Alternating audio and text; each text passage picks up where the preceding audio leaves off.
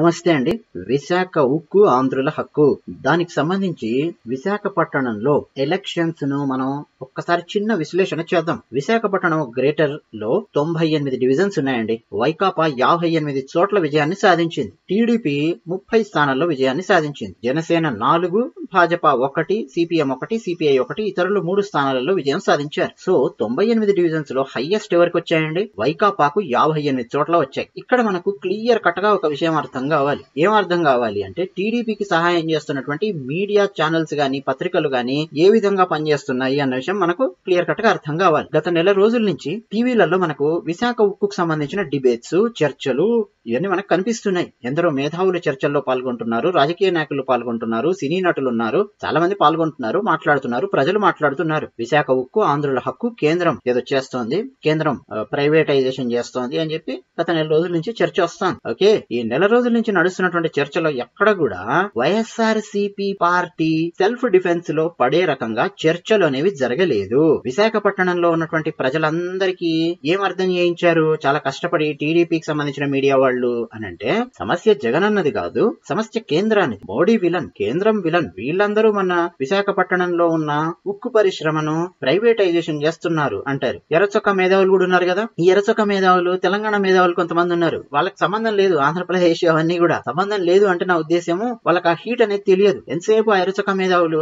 వాళ్ళకి సంబంధించింది వాళ్ళు చూసుకోవాలి. కేంద్రంలో బీజేపీని కిందికి దింపాలి అనే మోటోతోనే పనిచేస్తుంటారు. ఎర్రచొక్క ప్రొఫెసర్స్ ఉన్నారు చాలా మంది ఉన్నారు. వీళ్ళందరూ కూడా ఏం చేస్తున్నారు పాపం నెల రోజుల నుంచి అంటే కేంద్రం విలన్ మోడీ విలన్ కేంద్రం విలన్ మోడీ విలన్ ఇదే చేస్తున్నారు. సో జనాలకు కూడా ఏం అర్థం అవుతుంది విశాఖపట్నంలో? అరే మన విశాఖ ఉక్కు పరిశ్రమ ఉంది కదా. సమస్య జగన్ అన్నది కాదురా.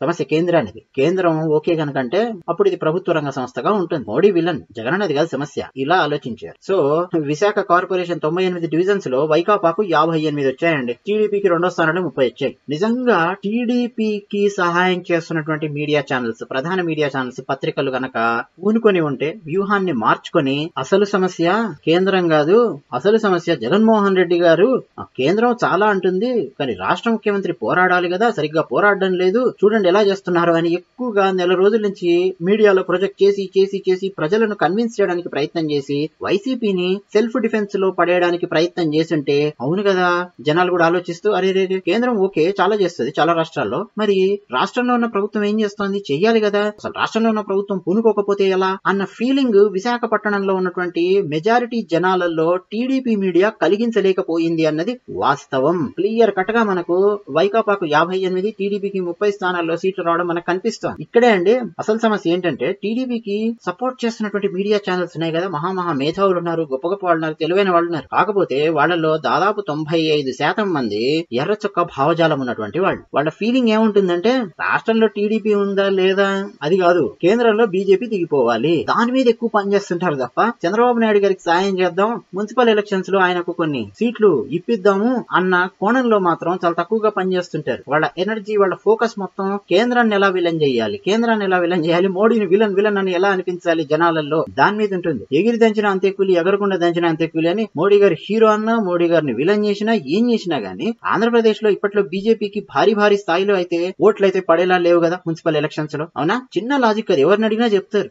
ఈ పాయింట్ ఆలోచించకుండా నెల రోజుల నుంచి అండి ఉదరగొట్టేస్తున్నారు ఉదరగొట్టేస్తున్నారు ఆ రైతులకు సంబంధించింది వచ్చినప్పుడు కూడా జనవరిలో టీడీపీకి సంబంధించిన ఛానల్స్లో కూడా మొత్తం పేపర్స్లో కూడా ఎర్రకోట మీద ఎగిరిన రైతన్న జెండా అంట. ఒక్కొక్కరు హెడ్డింగ్స్ పెట్టి పేపర్లలో రాయడం. అది రైతన్న జెండానా అండి? ఎర్రకోట దగ్గర ఎగిరింది. ఏం జెండానో తెలియదా దేశ విచ్ఛిన్న శక్తులు ఎవరెవరున్నారు? ఏమేం చేస్తున్నారు తెలియదా దాని మీద ఎక్కువగా ఫోకస్ పెట్టకుండా మోడీ విలన్ కేంద్రం విలన్ జనాలు కూడా ఓహో మోడీ విలన్ కదా? మా జగనన్న కాదు. మా జగనన్న మాకు డబ్బులు ఇస్తున్నాడు. జగనన్నతో సమస్య లేదు. పాపం ఆయన పని ఆయన చేసుకుంటున్నాడు. కేంద్రం విలన్ మోడీ విలన్ చలో జగనన్న గుద్దేయండ్రా. వైకాపాకు యాభై ఎనిమిది చోట్ల గ్రేటర్ విశాఖ కార్పొరేషన్లో ఇచ్చారు. చంద్రబాబు నాయుడు గారిని చంద్రబాబు నాయుడు గారికి సంబంధించిన మీడియా ఛానల్స్ బలి చేస్తున్నాయండి. ఆ విషయం ఇంకా చంద్రబాబు నాయుడు గారికి అర్థం కావట్లేదు. మీడియా ఛానల్స్లో ఉన్నటువంటి వాళ్ళల్లో మైండ్లో రెండు రకాలుగా ఉంది ఫోకస్. ఒక ఫోకస్ ఏముందంటే వాళ్ళు ఎరచక మేధావులు కాబట్టి కేంద్రంలో నరేంద్ర మోడీ గారు ఉన్నంత వరకు వీళ్ళ ఆటలు సాగవు. సో ఆయన కిందికి దింపాలి. అదొకటి ఉంది మైండ్లో. రెండోది ఏంటంటే చంద్రబాబు నాయుడు గారిని కూర్చోబెట్టాలి. రెండు కలిపి చేయడం అనేది చాలా కష్టం అవుతుంది వీళ్ళకి. అది సమస్య.